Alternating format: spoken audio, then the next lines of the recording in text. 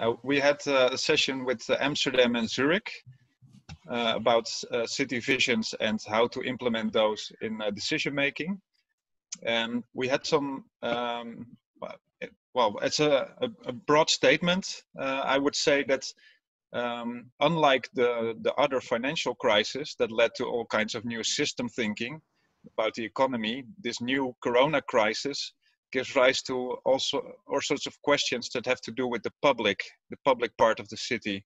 So we had a lot of talk about um, public space, about public transport, public health, uh, and public uh, participation. Um, so that's, I think, uh, something really new.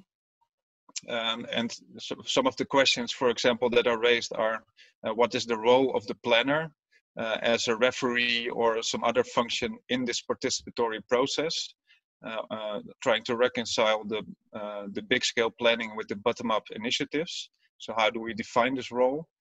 Another question that was raised was about um, housing density and growth within a city, not wanting to expand too much in its boundaries.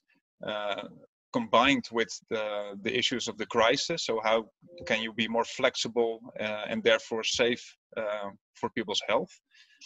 Um, another, um, well, I, I didn't have time to ask the less uh, for the what the cities learned actually from each other because we already went back to this session. But uh, what I think uh, that could be learned, um, for example, uh, from um, Zurich is that it's important to also look at your own democratic traditions and uh, build on those. Uh, uh, Switzerland has uh, its own direct democracy, for example. Amsterdam has other assets. Uh, another lesson from Zurich would be to safeguard also space for industries and the circular economy, and not only think about housing. Um, not that one would only think about housing, but it's very important to to have some space for industries left. Uh, lesson from Amsterdam uh, to collaborate with other municipalities beyond the borders to invest in metropolitan landscape and quality of life and to experiment with new types of participation.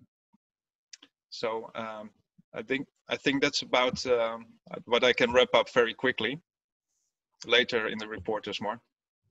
Definitely uh, we uh, learn more about Amsterdam and Zurich further. Uh, I would invite David now for the next uh, city, uh, The Hague and Lyon. Yes. Uh, so indeed, we had a short presentation from both cities, and I'm going to really shortly wrap up on, on, two parts, actually. the vision part and the method part, where we we're mostly discussing.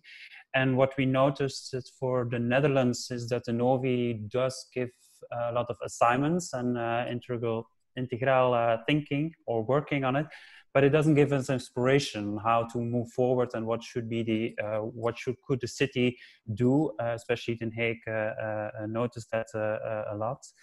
And what we learned from uh, uh, Lyon, this is that there's it's a complexity of assignments, but uh, maybe we shouldn't make one more plan, or should make just one plan, as as Erik showed the, the examples of Amsterdam, where there's like one plan that tried to bring everything together. Maybe it's no longer possible to just make one plan. And uh, what I also like from uh, Lyon is that we maybe we should learn to plan more as we are a poor city and uh, really uh, in, uh, pick out what we really need as what really needs to be done instead of uh, trying to fix everything, but really try to focus. It could help us uh, as a focus. That's part on the uh, vision part. Then and the method, what we learned is that the method as well works for decision makers and aldermen help them think about uh, to think more creative the, the, the, than we're taking specifically on the method used in uh, Lyon. Um, and help them to make decisions, but also show how the complexity of, uh, uh, uh of assignments are and how to indeed put them together and where could be uh, no regrets at least done. If you would work more with uh, uh, citizens, I think uh, what we learned there is that we need you need to build up complexity. Um, and you have to start quite easy. what I now learn in Lyon is that um, have to start small. They have to start may also not a serious game, but maybe also a fun game. Uh, and then try to build up uh, further what they what then that we learned from uh, Den Haag is for example starts make a design for your own neighborhood do that for several parts uh, in uh, Den Haag and then bring all these groups together and then let them discuss what that would mean on a city level so really building up a complexity that was it thank you so much David uh, I invite next Arjan to talk about uh, Rotterdam, Utrecht, and uh, Oslo? Uh, yes. Um, well, thank you all for participating. It was a really nice talk, I thought. Um, we started talking about uh, regional uh, collaborations and the different models we have um, to do this. Um, and came out that in Oslo there actually is quite a strong tradition in uh, collaborating regionally um, on the basis on, for transport. Uh, and this transport agency actually formed a really good good basis for a urban urban uh, regional development plan when this was needed. Um, and actually, all the the municipalities there they are really on the same page uh, because of this long uh, tradition uh, of collaboration. Um, while in the Netherlands, uh, for in Rotterdam, for example, uh, in the region, there is the uh, which is more like a coalition of the of the willing, some municipalities who who came together by themselves and made an offer to the national government. while in Utrecht, it's more of a negotiation between a lot of uh, adjacent municipalities, um, while they are struggling a bit with uh, all the interests of the municipalities themselves. Um, and then at some point, um, someone noticed that we are really uh, talking still about this institutional world and uh, that the paradigm shift actually should come uh, from uh, involving more with, uh, with people, with citizens, and also with politicians. Um, and Peter Austin from Oslo also gave some good examples about that um, how they uh, really uh, involve politicians of all these municipalities in the region. Um, they talk to them really regularly and make them really own this this this vision and uh, and involve them in the in the process. Um, and they actually also do this with the different uh, landowners in this region. So uh, one statement was uh, involve more people with less information uh, because we as planners have uh, a lot of words and we know what we talk about, but it's really difficult to get it to the people and, and the politicians. And that's a task ahead. Thank you, Arjan. That's a really interesting statement that involves more people with less information. Maybe that's a big debatable topic itself. Let's see how we elaborate that in our report. Uh, lastly, I would like to uh, uh, invite Ana Luisa for uh, Helsinki and Eindhoven. Sure. Uh, actually, I, I, took literally your, your requests of just saying two sentences. That's perfect. okay. So we try to just uh, make a sort of summary related to what each city thought of one another and of the dialogue today. So we thought it's, it's nice maybe to wrap it up like that and uh, we can basically uh, uh, point it out three main lines of of, uh, of lessons that they pick up from one another, or they would like to keep on informing one another. Uh, one of them has to do uh, with how open planning is for the public or not. How, how, much can you bring the planning into the public sphere of discussion? That was brought up by, by Helsinki. So I know, we should open up much more, learn from, from Netherlands on that. Um, Another thing is like, it's very important to open up this dialogue among cities on a very broad scale. So not only with our closest neighbors, then, then we can also learn the best about different practices because during the session, indeed, uh, Eindhoven and Helsinki figured out why they were put in the same session, like, oh yes, we share the same issues, mm. but indeed with a slightly different approach that could be very informative to one another. And another uh, issue was, for example, the way of interacting with, um, with the citizens yeah. or to, to how, how to share information or, or get information also. For example, in Helsinki, focus very much on this very open source uh, uh, uh, uh providing of, of data. While uh, Eindhoven focuses much more on directly approaching citizens and interacting with them. And they can, both cities can learn from this kind of uh, um, different approach. And um, and lastly, also, and and also important was like uh, Eindhoven was very interested, like, hey, we have to figure this out more in detail with you guys. So I think it makes sense to couple people more in relation to very specific challenges to figure out technicalities, like, hey, how can we actually figure this out further? And so yeah, that those were the main conclusions of our talk today. No. And it was a great talk, actually. So thank you all again for making part of it. Thank you, Ana Luisa. And I totally agree with you that at the end, uh, Eindhoven asked that we should be in contact and we should try and learn more in specific subjects that how we deal with it uh, here. And more or less what I can understand or I can conclude is that of course we divided the cities grouped them in terms of their challenges in terms of their process how they're working on the visions but at the same time the challenges the environmental challenges or the societal challenges that we have in planning system are more or less the same. So anyhow from all the reports i'm hoping that uh, the other session cities will be also able to understand each other. So it's not that uh, the report should be very specific to two cities or three cities. Rather all the cities should have some gain some kind of knowledge from this report I pass on the mic to uh, Paul then, uh, Paul Gerretsen, the director of Deltametropool. I want to know what did he learn today from this meeting? Um, well, yeah, uh, thank you, Alankrita, for uh, for giving me the honor to wrap up just a little bit because I think we're maybe ready for drinks, um, yeah. even though we're not together. But uh, we will experiment with that uh, later on, see if that works out.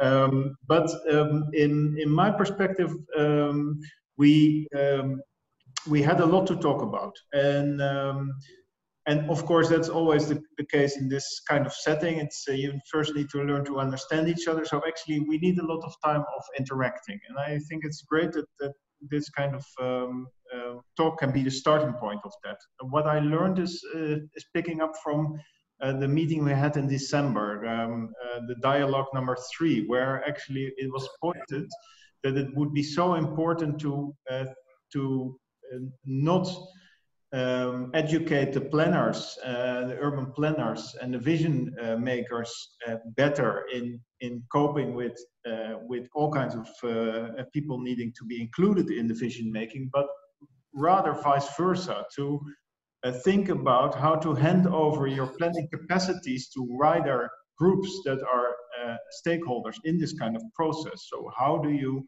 um, um, put this kind of uh, capacities of looking uh, into the future a little bit and think about what that means for your decisions right now. And I think this point came back quite um, uh, explicitly in, in a couple of sessions. Uh, I think the emphasis on the, the role that the citizen played is, um, is very apparent. Um, and also has been uh, even more apparent just recently because of this corona crisis. I don't know how it is with you, but I look out onto the city from uh, from the room where I am now, and I just see how people sort of rediscover the, uh, uh their direct uh, surroundings, and uh, and that kind of realization of actually what it means to be a city as a citizen um, is, I think, very fundamental. And that point of thinking about creating a vision based on and through um, the citizens is, of course, the big uh, challenge. Uh, that requires experiments, and that is also the big challenge. So the vision making, the the the, the making of plans is by nature very structured, and uh, it needs to be confronted with the a little bit much more muddy world of the uh, of all kinds of involvements of,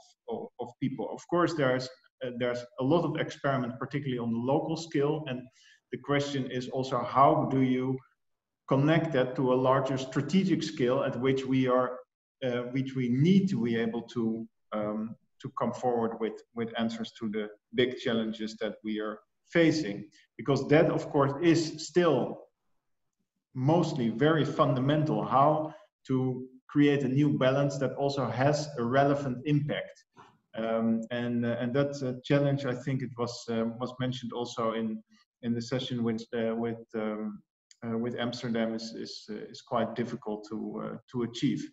Um, I just want to uh, to um, to hand um, uh, to ask one question to one person um, uh, also in the audience. I saw Klaas Kuitenbrouwer, who's actually normally our colleague at the New Institute because he's he's we're we're we're based in the New Institute, so we're colleagues in that sense. But we were also colleagues in starting um, a very interesting program uh, directed um, uh, at uh, at cities and, and municipalities in the in the Netherlands as a um, as a as an activity program uh, sidelined to the uh, to the contribution of the Venice Biennial, and uh, that would start would have started on the 26th of of March with a big meeting. That was um, not possible, but um, there was a smaller version made uh, online, and uh, and and that program is called uh, Values for Survival, and it's it's trying to relate to the basic values that you start your vision making from, and it took its hint from the two uh, subjects that were uh, positioned at the Venice uh, Biennial. So I'm also curious how that will go actually, because it has been postponed, as you might know. The two subjects were the multiplicity of other and the multi-species urbanism. So really thinking about urban planning in, the, in a completely different manner. Um, so, uh, Klaas, you're uh, now attached to that program. I'm, I'm just a little bit curious. There's a lot of talk about how, uh, and uh, and I think um, uh, Joost van Iersel also mentioned to that uh, about how this corona crisis has sort of sparked the idea that some other things are possible as well. So did you in your program manage to make that um, to make that shift from um, from uh, having actually the uh, downside of not being able to uh, to create a public public program of interaction, but but rather maybe um, has it sparked some sort of new thinking? Just to give you. Yeah. Um, uh, that's a yeah, extreme, a, a, very important question. Um, um, funny enough, like from my perspective, I have the feeling that the lift of the lockdown happens in a way slightly too soon to be sure to say this, in the sense that you see a lot of uh, thorough thinking going into, but wait a minute, now we have to really kind of let this land in a very long term alternative way of being. And just before those conclusions are being drawn, we're now lifting off. So we still have the chance to go back to normal. Mm-hmm. And there is no, no, I mean, it's being said a lot. The new normal is not the same as the old normal, but we, let's say, we haven't made the shift fully enough to be able to be sure that we uh, uh, enter in a different mode of uh, of uh, of uh, planning and relating to our surroundings. So I think what is left, I think you pointed it out clearly, is the fact that, uh, let's say, individual citizens and groups, communities relate to their surroundings now differently. But the question is very much how this uh, um, uh, uh lands again and grounds in other in other planning uh, planning processes. So I had yeah two uh, um, like one observation in a way that struck me as a big difference between our conversation, the conversation here and the one we had previously, is that uh, the previous one was very much informed by the gnosis of, um, uh, of, of the climate crisis as the thing, the big external added complexity, added need for speed in a way uh, that I um, uh, I didn't hear mention at all. Of course, I missed most of conversations today. I only I skimmed through a lot, but I've only been there very briefly. But I missed that issue here. Uh, I missed the, the mentioning of that issue here. Uh, so I thought, uh, so this this seemed to be dealing more with the intrinsic que uh, questions of planning rather than that external pressure. So I think, uh, and specifically in that context, your point of that you already mentioned that that um, the need for developing shared values among all the different scale stakeholders at different scales in planning processes seem to be of key value. There will be need to improvise, like control. Eh, mostly we can forget about it. Eh, we can plan ahead, but we, we don't know what's what's coming ahead of. Mean, we know it will be difficult. We know it will be extremely complex. So what we need is a kind of an orientation to what binds us in the present rather than what will is our uh, vision for the future. And that what binds us in the present can only be that thing which yeah, we can label a value. And I think this is also the exactly the question that you address, like how um, planners relate to citizens, relate to all kinds of initiatives that together make cities. Eh? It's, uh, as everybody knows, not only the planner that makes the city, although they have a key, a central role, but how these relations can work, like what is the mechanism of that correlation between all those mechanisms on a different scale. Yeah, we arrived at that question of, of, of shared value as a, as a, and I think a conversation like this helps extremely good uh, to get, get a picture of that.